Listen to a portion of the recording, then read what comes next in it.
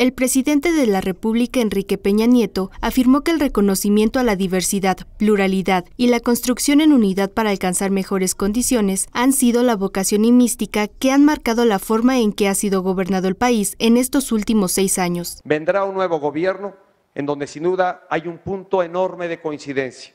Queremos tener una mejor nación, de menor pobreza, de menor desigualdad y de mayores oportunidades para los mexicanos. La administración que encabezo y que está por concluir su gestión ha hecho su contribución a este objetivo. Y hago votos porque el próximo gobierno pueda cumplir también la misión que ha hecho frente a los mexicanos, que recibió un amplio respaldo de la gran mayoría de nuestra nación y que deseo el mayor de los éxitos. Sé que en la suma de esfuerzos de generación en generación, de gobierno en gobierno, es como hemos venido moldeando, es como hemos venido construyendo esta nación que cada vez es más grande, cada vez es más rica y cada vez genera condiciones de mayor bienestar para sus habitantes.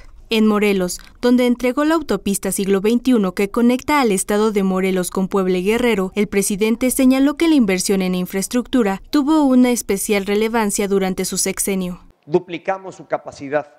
Esto significa que en estos seis años se generó la misma capacidad operativa en los puertos del país a la que se había construido 100 años anteriormente. Es la relevancia que tienen las obras de infraestructura que hemos impulsado y repito, donde hay inversión pública y hay inversión privada. Y esta puede decirse ha sido una administración bien comprometida con el desarrollo de infraestructura.